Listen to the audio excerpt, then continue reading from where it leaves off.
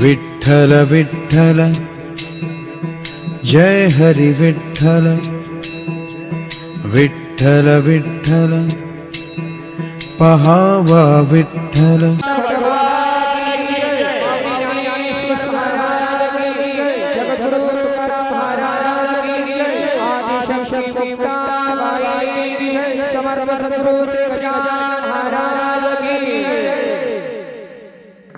जय जय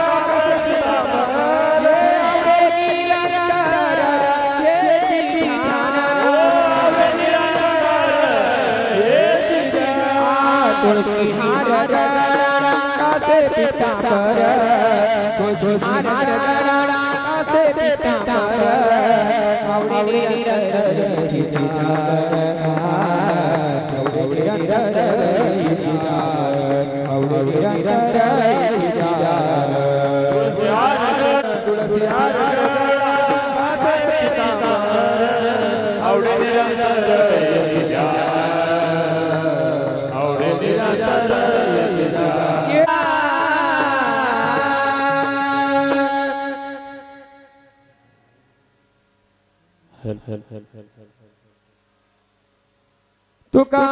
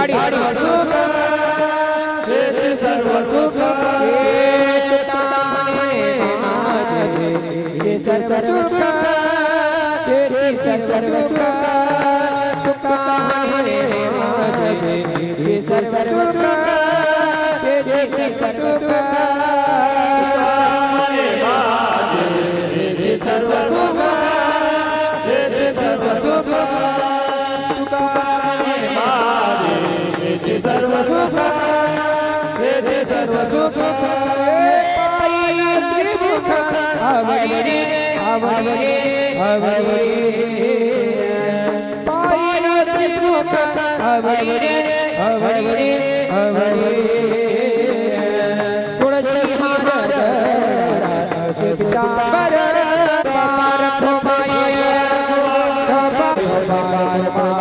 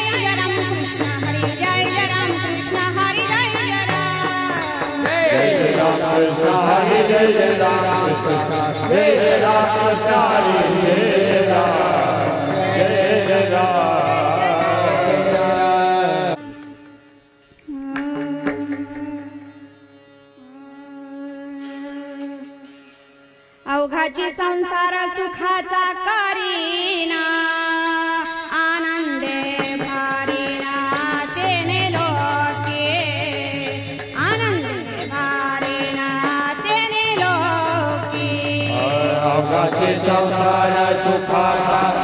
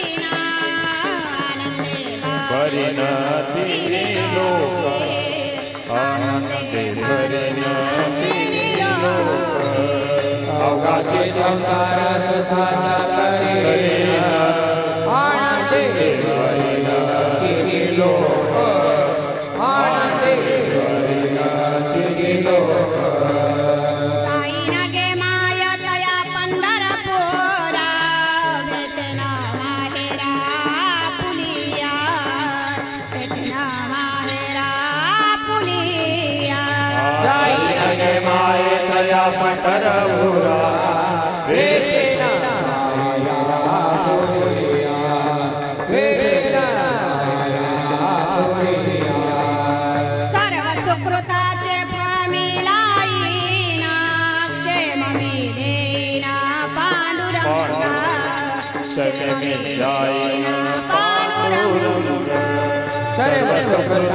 प्राणे शाया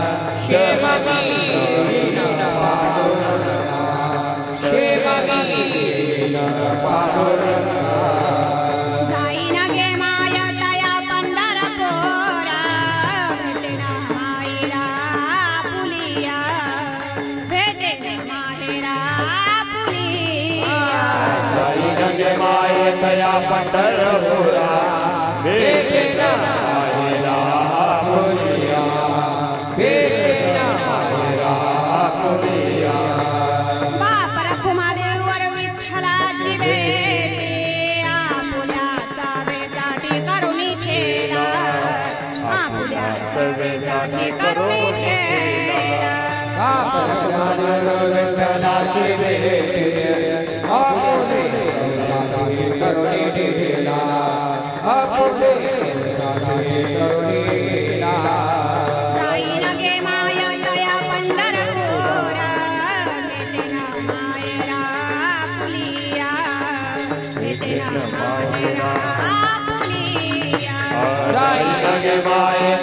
पटर गोरा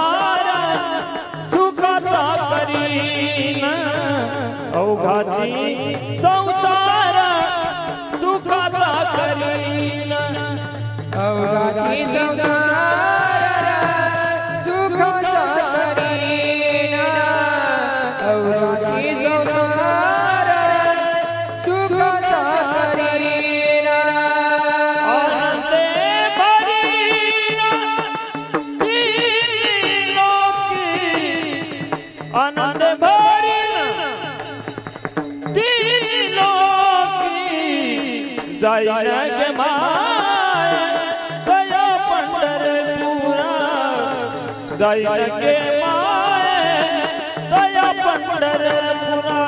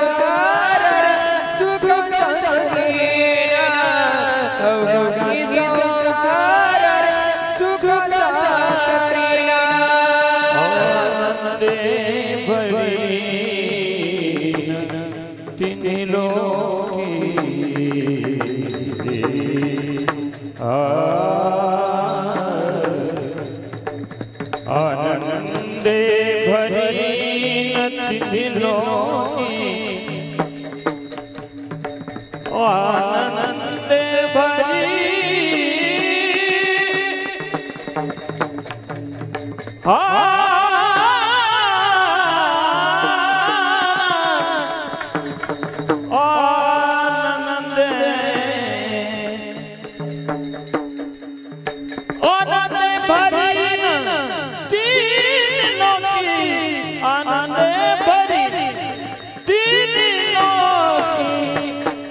जाईन माया पंढरपुरा। जाईन गे माया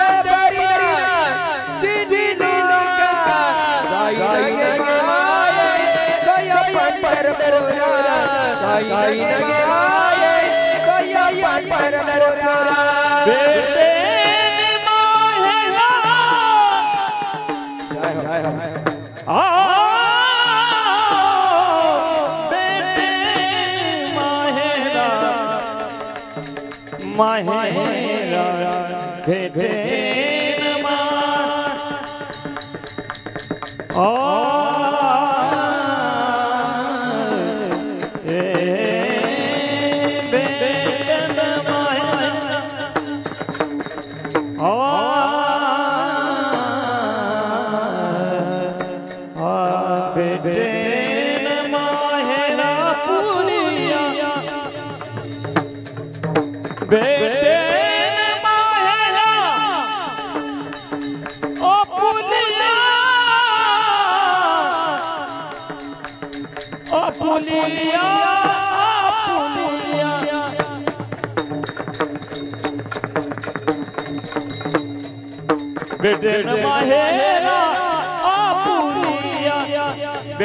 महट महटन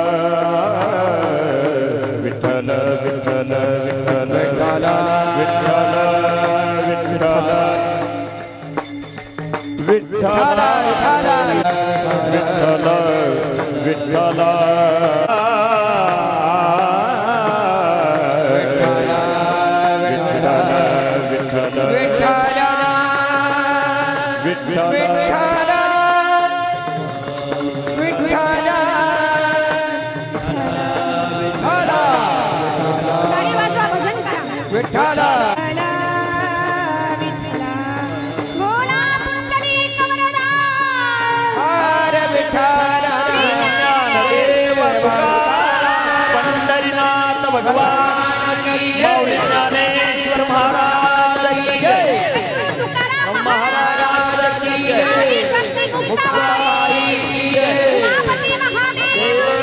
छत्रपति शिवाजी महाराज की जय भगवान की जय आनंद की जय अपनी अपनी माता पिता की जय No, no, no, no, no, no, no.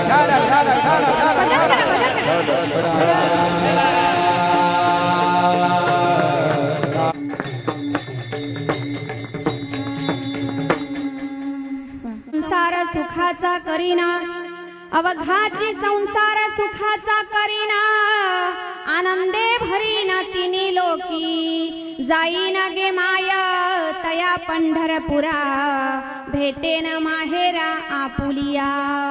सर्व सुकृताचे फळ मी लाईन. सर्व सुकृताचे फळ मी लाईन. क्षेम मी देईन पांडुरंगा. जाईन गे माय तया पंढरपुरा भेटेन माहेरा आपुलिया. बाप रखुमा देवीवरू विठ्ठलाची भेटी. बाप रखुमा देवीवरू विठ्ठलाची भेटी. आपुल्या सवेसाठी करुणी फेला. जाईन गे माया तया पंढरपुरा. भेटेन माहेरा पुलिया. प्रस्तुत. प्राप्त प्रसंगी प्राप्त स्थळी प्राप्त वेळी. भगवत चिंतना करता निवडलेला अभंग. योग्याची माऊली साधकाचा मायबाप विश्वाचे राजे. संत वैराग्याचं भूषण अलंकापूर निवासी माऊली महावैष्णव यांचा. नवे संपूर्ण जगाला शांतीचा संदेश देणारा नवे सर्व जगाचा संसार सुखाचा व्हावा अशी प्रतिज्ञा करणारा अभंग आपल्या सेवेकरिता निवडलेला आहे. महायोग पीठे तटे भीमरत्यम वरं पुण्डलीकाय धातु मुनिंद्रे समागत्य तिष्ठन्तमानन्दकन्दं परब्रह्मलिङ्गं भजे पाण्डुरङ्गम्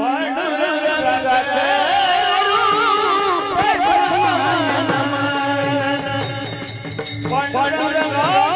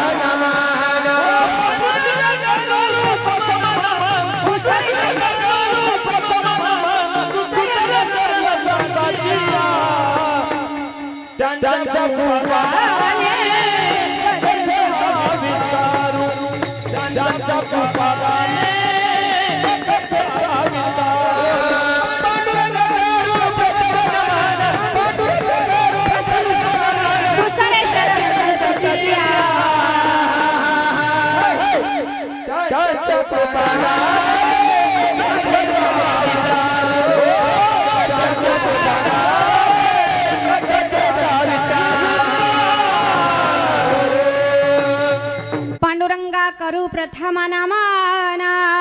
दुसरे चरण संतांचिया। त्यांच्या कृपादाने कथेचा विस्तारू। बाबाजी सद्गुरुदास तुका। ओम नमो ज्ञानेश्वरा करुणाकराया दयाळा. तुमचा अनुग्रह लाधलो पावन झालो चराचरी. मी कला कुसरी काहीच बोलते वचने अतिभाविका. तुमचा अनुग्रह लाधलो पावन झालो चराचरी. शान्ताकारं भुजङ्गशयनं पद्मनाभं सुरेशं विश्वाधारं गगनसदृशं मेघवर्णं सुभागं लक्ष्मीकान्तं कमलनयनं योगिर्विर्ध्यानगम्यं वन्दे विष्णुभवभयहरम् सर्वलोकैकनाथं श्रीराधा मेरी मात है, पिता मेरो घनश्याम इन दोनों के चरणन में मेरा बारंबार प्रणाम। जय जय श्री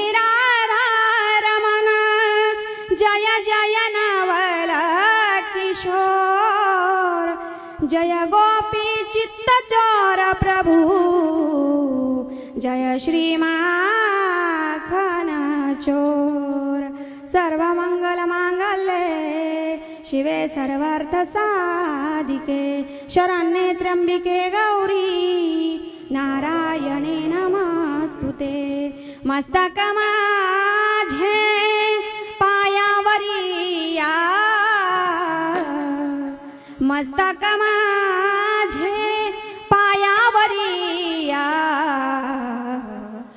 वारकरी संतांच्या या या वारकरी संतांच्या या या या या या वारकरी संतांच्या.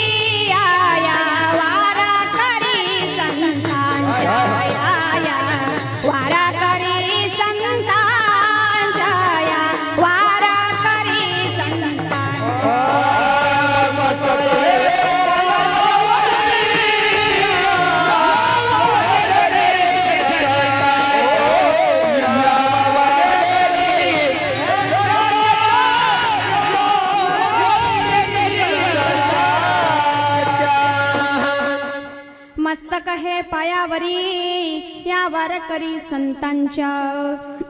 अवघाची संसार सुखाचा करीना. आनंदे भरीना तिने लोकी.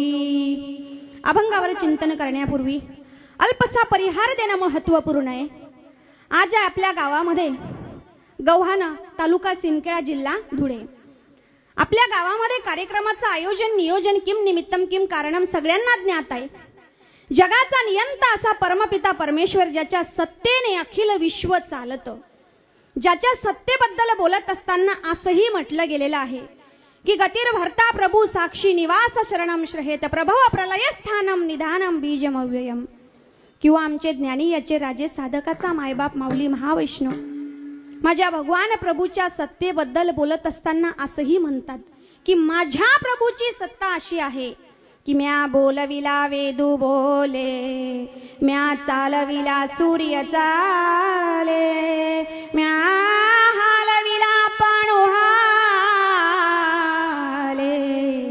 जो जगाते चाळीता किंवा वृक्षाची या पान हले ज्याची सत्ता ज्या परमप्रभूच्या सत्तेशिवाय वृक्षाचं पान देखील हलत नाही अशा माझ्या भगवान प्रभूच्या परम कृपेने व गीता जयंती व विठ्ठल मंदिराचा सातवा अभिष्ट चिंतन सोहळा निमित्त अखंड हरिनाम कीर्तन सप्ताह संत महंतांच्या आशीर्वादाने गावातील समस्त ग्रामस्थ यांच्या अमोलशा सहकार्याने चालत आलेला हा अखंड हरिनाम कीर्तन सप्ताह. आणि सप्ताहाचं वर्ष कितवं आहे? सत्ताविसावं. आणि सत्तावीसाव्या वर्षाची तिसऱ्या दिवसाचं कीर्तन पुष्प हे माझ्या वाटेला आलं हे एक माझं परम भाग्य आहे. आपल्या गावातील हरिभक्त पाराने शिवाजी काका असतील अरविंद काका असतील यांचा फोन आला म्हटले ताई आमच्या गावाचं कार्यक्रमाचं आमंत्रण स्वीकारा. म्हटलं काही हरकत नाही. लहानपणी माझ्या आपल्या परिसरामध्ये जवळजवळ सर्व ठिकाणी कार्यक्रम झाले पण आपलं गाव सुटलं होतं. असो आत्ता का असेना कार्यक्रमाचा योग आला? हे माझं परम भाग्य आहे. विठाला विठाला विठाला हवे आजच्या कार्यक्रमाला उपस्थित असणारे गुणीजन मंडळी असतील महाराज मंडळी असतील आमच्या हरिभक्त पारायण उत्कृष्ट मृदुंग वादक महाराज महाराजांचं नाव? उदय महाराज यांची मला या ठिकाणी कार्यक्रमासाठी साथ लाभली. नवे मी लहान असताना माझ्यासोबत माझे काका ईश्वर महाराज धामणगावकर मी लहान असतानाच काका माझ्यासोबत असतात गायनासाठी काकांची मला या ठिकाणी साथ लाभली. नवे आमचे हरिभक्त परायण चंदू महाराज शिरसोलीकर माझे बंधूच आहेत. त्यांचीही मला कार्यक्रमासाठी साथ लाभली. नवे आमचे हरिभक्त पारायण मधुकर महाराज या ठिकाणी महाराजांचीही मला कार्यक्रमासाठी साथ लाभली. नवल महाराज महाराजांची मला कार्यक्रमासाठी साथ लाभली. नवे आमचे हरिभक्त परायण. ज्यांच्यामुळे मला परमार्थ परमार्थाचा या ठिकाणी वारसा माझ्यामध्ये रुजला ज्यांनी परमार्थाचे संस्कार माझ्यामध्ये या ठिकाणी मुरवले असे माझे वडील बापू ते देखील माझ्या कार्यक्रमासाठी या ठिकाणी हजर आहेत. नवे ज्यांच्यामुळे या ठिकाणी ज्यांनी मला इथं कार्यक्रम कार्यक्रमाला येण्याची परवानगी दिली ते आमचे महाराज देखील कार्यक्रमाला उपस्थित आहेत. नवे समस्त ग्रामस्थ भजनी मंडळ गौहानेकर माऊली भजनी मंडळ नवे ज्ञानवंत गुणवंत असतील श्रोते असतील मातृवर्ग पितृवर्ग दत्ताने गव्हाणे परिसरातील जेवढेही असतील सगळ्यांचं या ठिकाणी मला दर्शनाचा योग आला. हे एक माझं परमभाग्य आहे. विठाला विठाला विठाला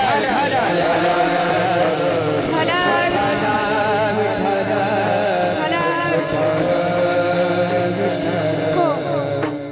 नव्हे आजचा आपला हा कार्यक्रम आहे. हो वारकरी कीर्तन ह्या चॅनलवरती आज आमचे स्वामी मूव्हीजवाले मुकेश भाऊ यांच्या माध्यमातून हा कार्यक्रम या ठिकाणी यूट्यूबला टाकायचा आहे. म्हणून आमच्या दादांनी हे जे कार्य हाती घेतलेलं आहे भगवत धर्माचा प्रचार आणि प्रसार करण्यासाठी आमच्या भाऊंनी या संतांचे कीर्तनकारांचं हे प्रबोधनाचं कार्य आहे ते प्रत्येकापर्यंत पोचावं. आणि प्रत्येकाने याचा या ठिकाणी भगवंताच्या नामाची गोडी प्रत्येकामध्ये लागावी रुजावी असं महान कार्य आमच्या मुकेश भाऊंनी हाती घेतलेलं आहे. म्हणून त्यांच्या माध्यमातून या ठिकाणी आज यूट्यूबची शूटिंग आहे म्हणून दादांचं भैया भाऊंचं देखील मनापासून धन्यवाद करते. विठाला विठाला विठाला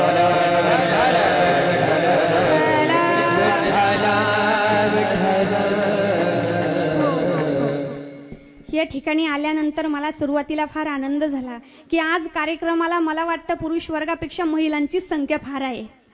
खरंच आनंद वाटला. मला वाटतं महाराजांनी काल कार्यक्रमाचा टायमिंग आठचा जाहीर केला होता ना? आणि महिलांना उत्सुकता असते.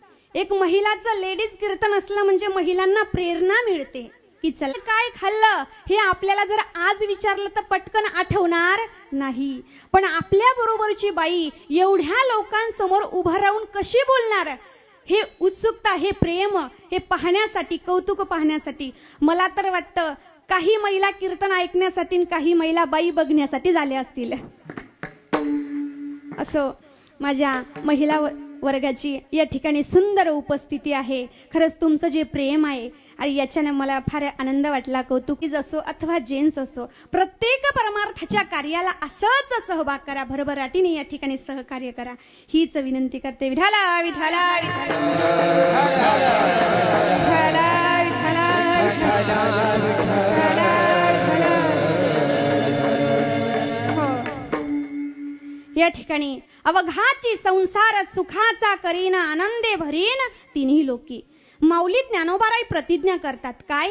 अवघाची संसार म्हणजे मी संपूर्ण जगाचा संसार सुखाचा करेल. ही प्रतिज्ञा आहे कोणाची? माऊली ज्ञानोबारायांची. कोण माऊली ज्ञानोबाराय? माऊली ज्ञानोबारायांबद्दल जर आपण बोलायला गेलं सर्व संतांच्या मध्ये वयाने लहान असणारे माऊली ज्ञानोबाराय. आणि जरी सं सर्व संतांमध्ये वयाने लहान असतील ना महाराज तरी सोळाव्या वर्षी ज्ञानेश्वरी आणि बावीसाव्या वर्षी समाधी हे आमचे माऊली ज्ञानोबर आहे एवढे वयाने लहान असताना सुद्धा आमच्या माऊली ज्ञानोबारायांनी लोकांनी फार त्रास दिला. नाही नाही तो छळ केला. तरी आमच्या माऊली ज्ञानोबारायांनी सर्वांचे अपराध पोटात घातले महाराज. ते माऊली ज्ञानोबाराय सगळ्यांचे अपराध पोटात घातले. हा योगी पावना मनाचा.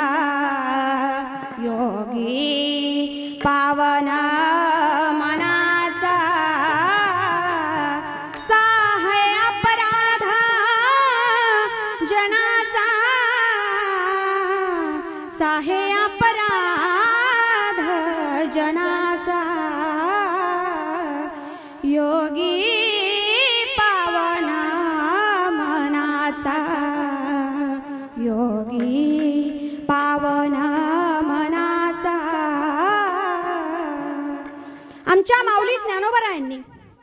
सर्वांचे अपराध पोटात घातले.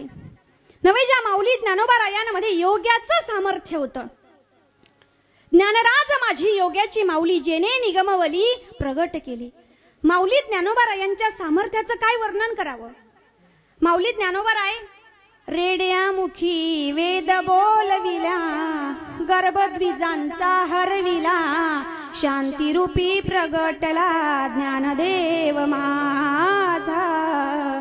शांतिरूपी प्रगटला ज्ञानदेव माझा. माऊली ज्ञानोबरायांनी रेड्याच्या मुखातून वेद बोलवावा. रेडा असा मंद बुद्धीचा प्राणी आहे असा जड बुद्धीचा प्राणी आहे. समजा तो जर रस्त्याने निघाला तो चालत असताना समोरून कितीही वाहन येऊ द्या कितीही हॉर्न वाजू द्या आणि कितीही ट्रॅफिक जाम होऊ द्या पण तो काही साईड देत नाही तो काही बाजूला होत नाही. एवढा जड बुद्धीचा प्राणी रेडा त्याच्या मुखातून आमच्या माऊली ज्ञानोबारायांनी वेद बोलवावे. केवढा अधिकार? एवढंच नाही. माऊली ज्ञानोबाराय पसायदानामध्ये म्हणतात की जे खड्यांचे व्यंकटी सांडो तया सत्कर्मी रती वाडो भूता परस्परे पडो मैत्र जीवांची दुलितांचे तिमिर जावो विश्व स्वधर्म सूर्य पाहो जो जे लांचिल तो ते पाहो प्राणी जात. माऊली ज्ञानोबारायांनी अवघ्या सोळा वर्षाच्या वयामध्ये संपूर्ण जगाला शांतीचा संदेश दिला. ते माऊली ज्ञानोबाराय. किती मोक्याचं कार्य केलं किती महत्त्वपूर्ण कार्य केलं आमच्या माऊली ज्ञानोबरांनी सोळाव्या वर्षामध्ये. आणि आपण म्हणतो सोळावा वरीस धोक्याचं. धोक्याचं नाही सोळावा वरीस मोक्याचं आहे महाराज मोक्याचं. हो हिंदू धर्माचे महत्त्व अमेरिकेमध्ये शिकागो परिषदेत पटवून दिलं. ते स्वामी विवेकानंद फक्त सोळा वर्षाचे होते. तोरणा किल्ला जिंकून स्वराज्याचं तोरण बांधलं. ते आमचे छत्रपती शिवाजी महाराज फक्त सोळा वर्षाचे होते. सोळा वर्षाचे असताना संपूर्ण जगाला शांतीचा संदेश द्यावा. ते आमची माऊली ज्ञानोबराई फक्त सोळा वर्षाचे होते. विठाला विठाला विठाला म्हणून माऊली ज्ञानोबरायांचं वय वर्ष फक्त सोळा होतं. जेव्हा सोळा वर्ष पूर्ण झाले त्यावेळेस यम घ्यायला आले. माऊली ज्ञानोबरायांपुढे आले पण बोलण्याची हिंमत झाली नाही. आले माऊलींपुढे येऊन हात जोडला आणि उभे राहिले. माऊली ज्ञानोबरायांनी निवृत्तीनाथ दादांकडे पाहिलं. निवृत्तीनाथ दादांनी यमाला दोन बोटं दाखवली. यमाला असं वाटलं जाऊन दोन वर्षांनी यायला सांगताय. यम निघून गेला. पुन्हा दोन वर्षांनी आला. दोन वर्षांनी आल्यानंतर माऊलींपुढे येऊन उभा राहिला आणि माऊलींनी आता सोपान काकांकडे पाहिलं. सोपान काकांनी पुन्हा दोन बोटं दाखवली. दोन बोटं दाखवल्यानंतर पुन्हा यम निघून गेला दोन वर्षांनी आला आणि जेव्हा तिसऱ्यांदा यम आला मुक्ताईने दोन बोटं दाखवली यम जायला निघाला. पण तेव्हा मुक्ताईने खडसावून सांगितलं यमाला यम्या थांब थांब. तुला सांकेतिक भाषा कळत नाही? अरे दोन बोट दाखवली याचा अर्थ असा नाही जाऊन दोन वर्षांनी परत ये. अरे दोन बोटाचा अर्थ असा आहे की जोपर्यंत चंद्र आणि सूर्य आहे तोपर्यंत इकडे दिसूच नको. यम जसा का गेला परत आलाच नाही. एवढे सामर्थ्यवान असणारे आमचे माऊली ज्ञानोबर आहे की जगा काळ खाये आम्ही माथा दिला पाय विठाला विठाला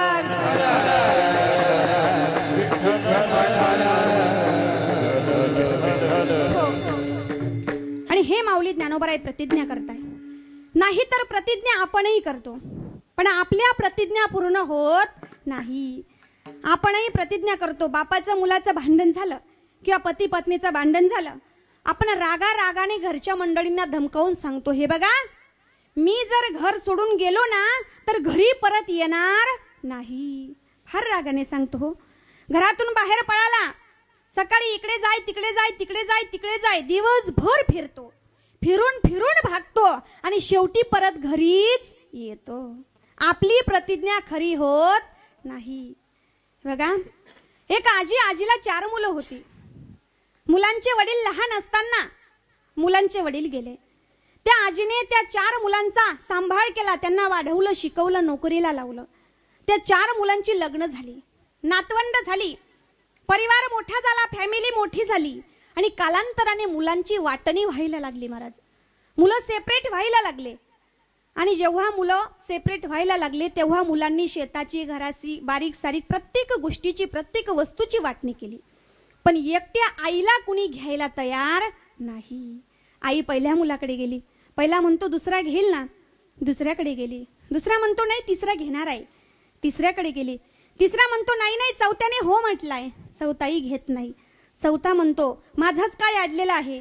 मला जी एकट्याला जन्म दिला आहे का? आईला कुणीही घेत नाही महाराज. आईला फार वाईट वाटतं फार दुःख होतं.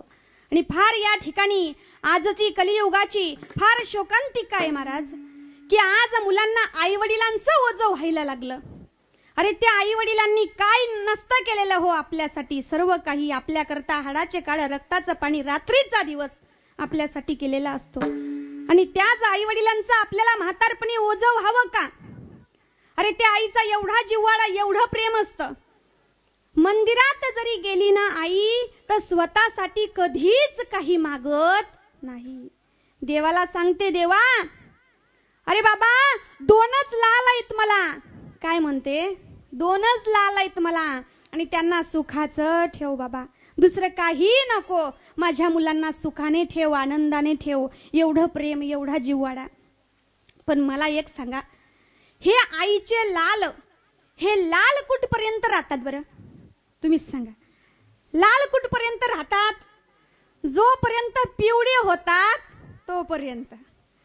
एकदाचे का हे लाल पिवळे झाले तर ह्या लालांचा रंग बदलायला लागतो महाराज. यांचा रंग बदलतो आणि मग हे काय होतात? लग्नानंतर हे लाल काळे होतात महाराज. मग तीच आई जी आई एवढ्या जिव्हाळ्याने एवढ्या प्रेमाने एवढ्या आर्ततेने म्हणत होती माझा लाल पण तीच आई महाराज काय करावं? त्या वेदना तो त्रास तो जिव्हाळा एवढं प्रेम दिलं त्या लेकराला आणि ते लेकरू जेव्हा म्हातारपणी वेगळं काढतं ना तीच आई तळमळेने सांगते शेजारच्या ताईला म्हणे ताई काय सांगावं तुला? अगं माझा मुलगा माझा राहिला नाही. माझा मुलगा तिने काय कुणास ठाऊक खाऊ घातलं? काय मोहनी केली काय जादू केली? माझा मुलगा माझा राहिला नाही.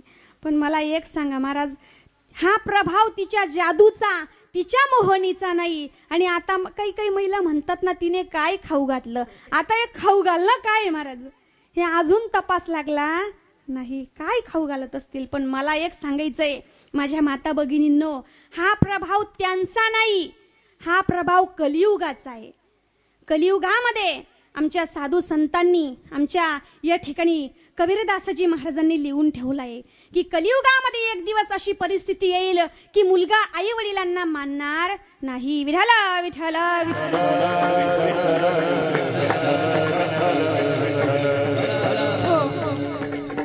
कबीरदासजी महाराज म्हणतात एक वेळ अशी येईल की आई रे बेमान दुनिया आई रे. आई रे बेमान दुनिया आई रे. हो माता पिता को कोई नहीं माने औरत का बहुमान रे. साधु संत को कोई नहीं माने इजड़ों का बहुमान रे. आई वडिलांना लेकर मानणार नाहीत. म्हणून माझ्या माऊलींनो प्रभाव त्यांचा नाही प्रभाव कलियुगाचा आहे. कलियुगाचा आहे. म्हणून एकच सांगते जर तुमच्या लेकरांनी म्हातारपणी तुमचा सांभाळ करावा असं तुम्हाला वाटत असेल ना तर त्या लेकरांसाठी फक्त धनसंपत्ती कमवू नका. त्या लेकरांना धार्मिक संस्कार द्या. परमार्थाचे संस्कार त्या लेकरांना द्या. ज्या घराण्यामध्ये ज्या घरातले लेकरू परमार्थिक क्षेत्रामध्ये लहानाचे मोठे झाले असतील ना त्या घराण्याचे आई वडील कधीच मुलांपासून वेगळे राहणार नाहीत. किंवा त्या घराण्याचं लेकरू कधीच आई वडिलांना वेगळं काढणार नाही. ही चूक त्यांची नाही महाराज चूक आपली आहे. म्हणून मुलांना फक्त या ठिकाणी संपत्ती कमवण्यापेक्षा धार्मिक संस्कार त्यांच्यावरती द्या. नाहीतर आपल्यावरती अशी वेळ येते म्हातारपणी आपणच पस्तावे करतो चूक आपली असताना बाळा. काय नाही केलं रे तुझ्यासाठी. पण तू काय केलं रे बाळा माझ्यासाठी? की तुझ्यासाठी जीवन जाडिले रे बाळा. तुने नाही पाणी पाजिले रे बाळा. ही वेळ आपल्यावरती येते महाराज का? याला जबाबदार आपण आहोत. विधाला विधाला.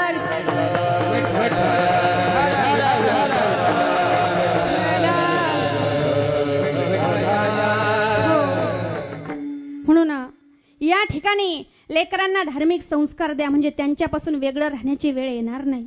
किंवा म्हाताऱ्या आई वडिलांचं या ठिकाणी लेकरांना ओझं होणार नाही. या ठिकाणी आजीला देखील चार मुलं आजीना चार मुलांचं कधी ओझं वाटलं नाही पण चार मुलं असताना सुद्धा आईला कुणी घ्यायला तयार नाही. आईला वाईट वाटलं दुःख झालं अरे हे कार्टे लहान होते. यांचे बाबा जेव्हा गेले ना ते हे लहान होते. मी एकट्या बाईने या चार मुलांचा सांभाळ केला. मला या चार मुलांचं कधी ओझं वाटलं नाही आणि चार मुलांना माझ्या एकट्या म्हातारीचं ओझं व्हायला लागलं. काय अर्थ आहे माझ्या जीवनाला? काय अर्थ आहे माझ्या जगण्याला? आजीने विचार केला बस आता राहायचं नाही. आता आत्महत्या करायची आहे. माझी जगायची इच्छा नाही. माझी आत्महत्या करण्यासाठी त्या दिवशी रात्री बारा एक वाजता आजीबाईने हातात कंदील घेतला पायात चप्पल घातली आणि आता कुठेतरी जावं. म्हणून आजी घरातनं बाहेर निघाल्या. चालता चालता चालता आजी गावाच्या बाहेर आल्या. आता गावाच्या बाहेर आल्यानंतर गो दोन गावातले गृहस्थ बाहेर गावाला गेले होते. रात्री परत गावाकडे येत होते. त्यांना रस्त्यात आजीबाई भेटल्या. त्यांनी आजींना विचारलं का हो आजी? रात्रीच्या बारा एक वाजले. हातात कंदील पायात चप्पल घेऊन चालल्या कुठे? त्यावेळेस आजीने त्यांना घडलेली सगळी स्टोरी हकीकत सांगितली म्हणे असं झालं तसं झालं. माझ्या मुलांनी वाटणी केली सेपरेट झाली. सगळं वाटून घेतलं. मला कोणी घ्यायला तयार नाही. म्हणून माझी काही जगायची इच्छा नाही. म्हणून मी आत्महत्या करण्यासाठी निघाले. मग त्यावेळेस ते गृहस्थ म्हणतात आजी ठीक आहे. तुमचं म्हणणं आम्हाला कळलं.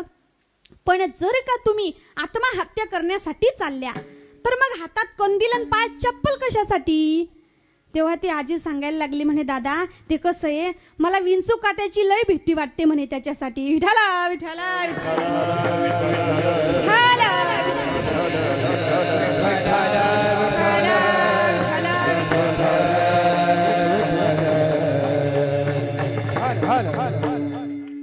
सांगायचं तात्पर्य आपल्याला हा देह सोडू वाटत नाही. आपण कितीही प्रतिज्ञा करा पण आपली प्रतिज्ञा पूर्ण होत नाही. म्हणून पुढेही अनेकांनी प्रतिज्ञा केल्या.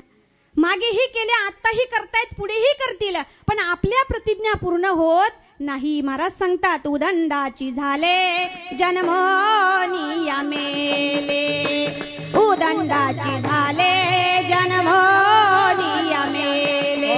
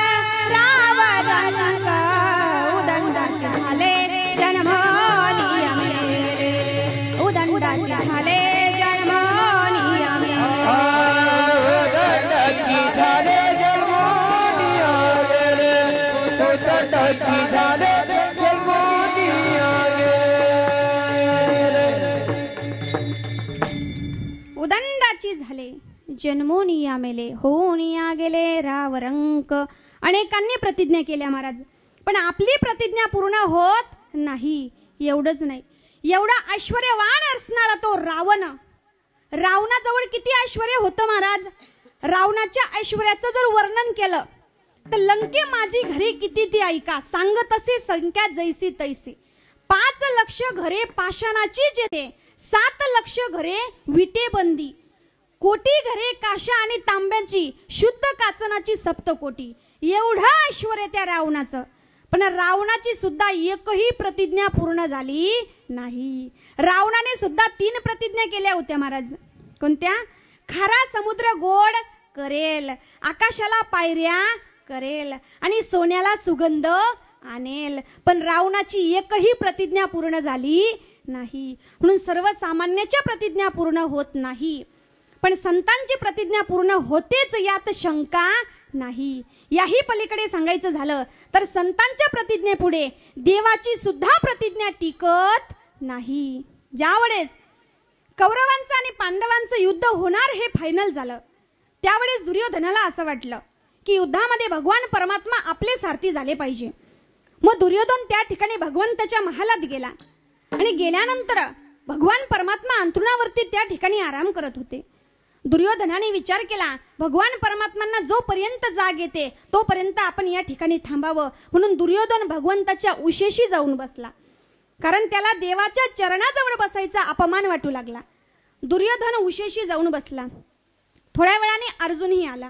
अर्जुन आल्यानंतर भगवंताच्या चरणाजवळ बसला. आपला भक्त आल्याबरोबर भगवान परमात्मा लगेच उठून बसले. आता असा झोपलेला माणूस उठून बसल्यानंतर समोर कोण आहे तो व्यक्ती आधी दिसेल. मग भगवंतांनी विचारलं म्हणे अर्जुना केव्हा आलास रे तू? तेव्हा अर्जुन सांगायला लागला म्हणे देवा आत्ताच पाच मिनिटांनी आलो. तेव्हा मागून दुर्योधन सांगायला लागला म्हणे देवा मी अर्जुनाच्या अगोदर आलो आहे ना.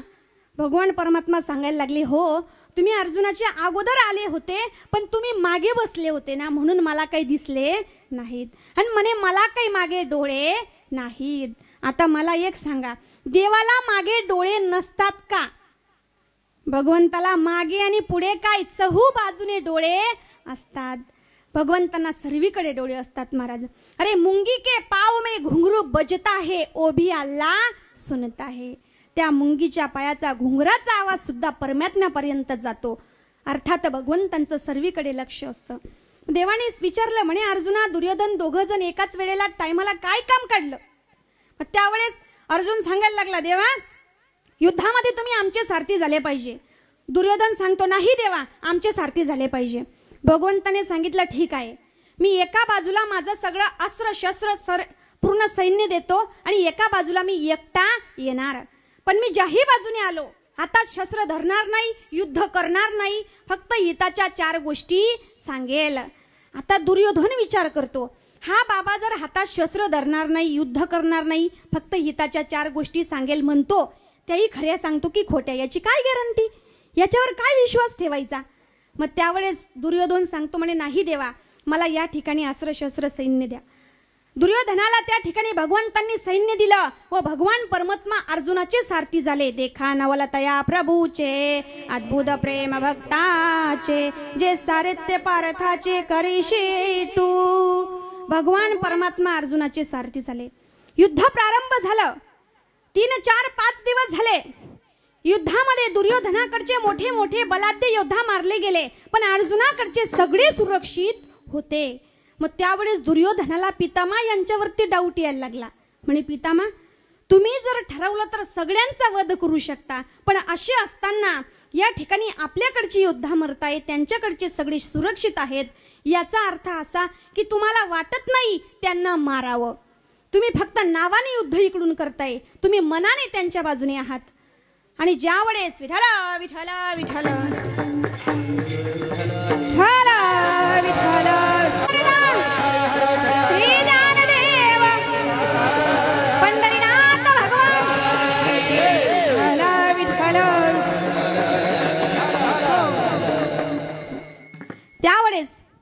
पितामा यांच्यावरती जेव्हा दुर्योधनाने आरोप घेतला त्यावेळेस पितामांनी दुर्योधनाला सांगतात दुर्योधना हे बघ तुला जरी माझ्यावरती शंका येत असेल ना तर मी आज असा प्रण घेतो प्रतिज्ञा करतो की उद्या सूर्यास्त होईपर्यंत मी ही कृती निष्पांडवी करेल. ही प्रतिज्ञा पितामांनी घेतली.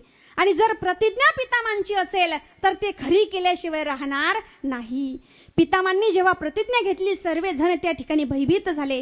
द्रौपदी घाबरायला लागली. द्रौपदीने भगवान श्रीकृष्णाचा धावा केला. ए प्रभू माझ्या पतींचे प्राण संकटात आहेत. माझ्या प्रभूंना वाचव. माझ्या पतींना वाचव.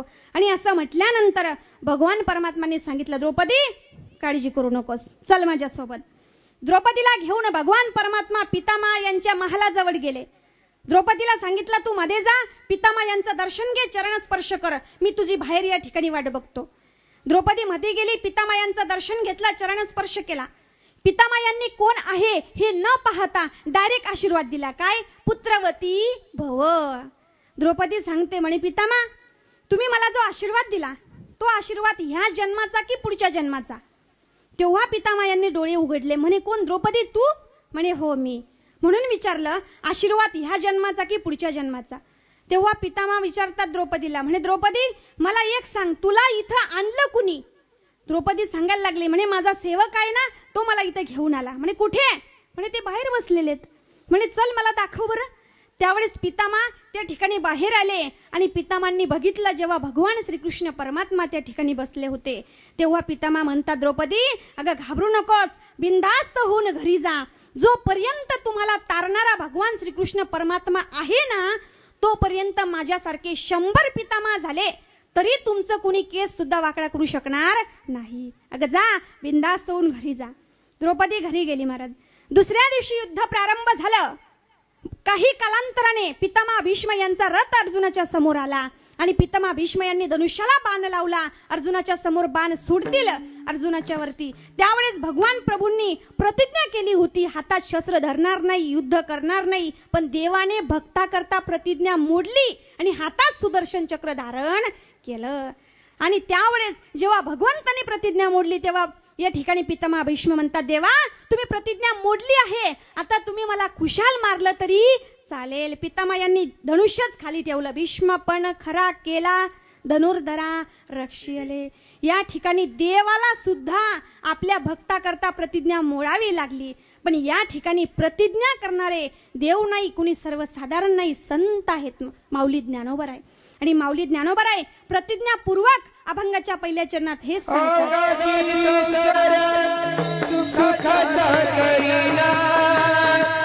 सुखाचा करीना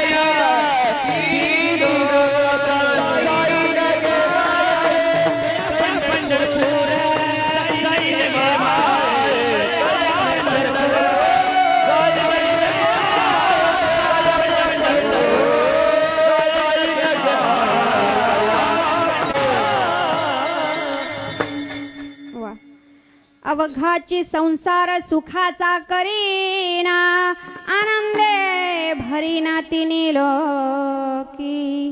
महाराज सांगतात अवघाची संसार. या संसाराबद्दल माऊली ज्ञानोबाराय म्हणतात संपूर्ण जगाचा संसार मी सुखाचा करेल. पण संसाराबद्दल जर बोलायला गेलं तर संसार कसा येऊ? माऊली ज्ञानोबाराय म्हणतात संसारामध्ये तिळ मात्र सुद्धा सुख नाही. संसार दुःख मुडा चहूकडे विंगूड. विश्रांती नाही कोठे रात्रंदिवस तळमाळ. काम क्रोध लोभ शुनी पाठी लागली ओढाळ. कवना मी शरण जाऊ दृष्टी देई संसारामध्ये तिळ मात्र सुद्धा सुख नाही. संसाराचा जर अनुभव या ठिकाणी आपल्याला विचारायला गेलं की बाबांनो या ठिकाणी तुम्ही एवढे श्रोते मंडळी या ठिकाणी महिला वर्ग पुरुष